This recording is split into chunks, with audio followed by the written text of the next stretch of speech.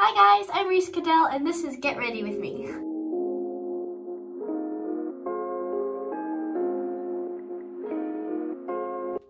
So, right now I have a lot of studio makeup on because I just got back from a live show and I'm going to show you guys how I take care of my skin and get it all off. It's a Friday night and we just got back from filming so I'm going to show you guys how I get ready for bed and take off all of the studio makeup and stuff, clean my face. It's good. So the first thing I use is a makeup wipe, a gentle makeup wipe to wipe off all my stuff because my face is sensitive. ASMR. Ooh.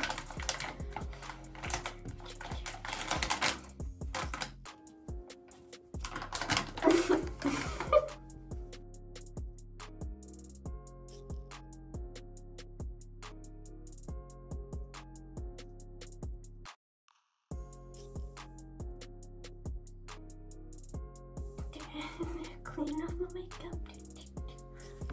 I have to make sure to get on my neck because I do put makeup there and I forget I do. Hee hee And that's on, I was in the shower and it really scared me when makeup started coming off of my neck. Okay. And then after that, I use this Gentle Facial Cleanser. This one is actually DIY because I'm quirky like that. And it has Castile soap in it and lavender and tea tree oil. You can find recipes online anywhere or just use anyone ever, whatever works for your face. Then I boop, bop, beep, boop. Beep, beep, boop. I'm a robot. Oh, then I rub it all over my face. Ooh, look at that. Um, and then usually I don't put that much soap on, I put too much. It's very quirky of me. Um, and then I take my Sonic Clear, it's my mom's hand, um, and then I get it a little wet and I just rub it in circles for funsies.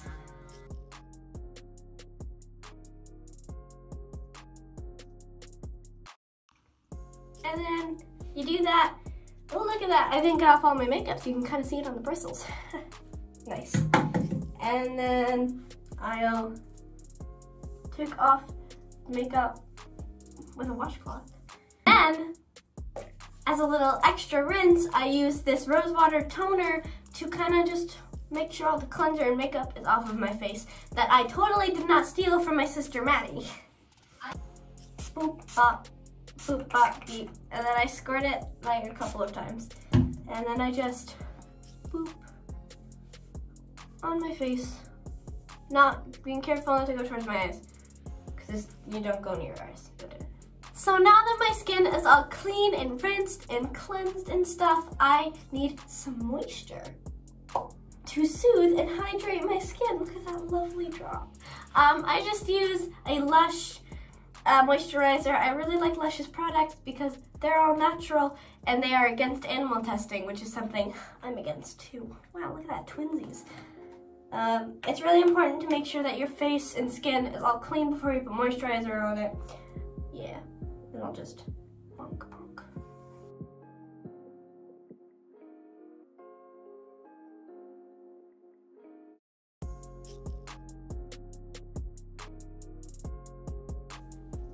moisturizer.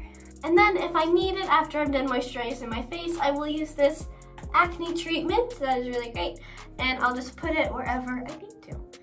And I make sure that there's no moisturizer on those spots, otherwise it won't really work. So I just take the moisturizer off of them.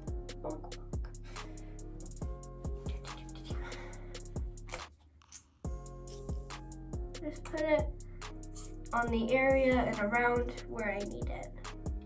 And sometimes if they're scabs, because they've been there for so long, um, I will use Neosporin or some other scar cream or anything like that just to heal them up. Big brain words. It's important to remember to moisturize your lips as well, so I use this chapstick I found while I was living in Japan. It is a very popular brand there, so I was like, oh, okay, I'll try it. It's called DHC Lip Cream, and you can find it on Amazon or use just whatever chapstick you want to. It doesn't really matter. So I just bonk. You kind of do it like it's a lipstick, so I feel very fancy doing it. I'm like,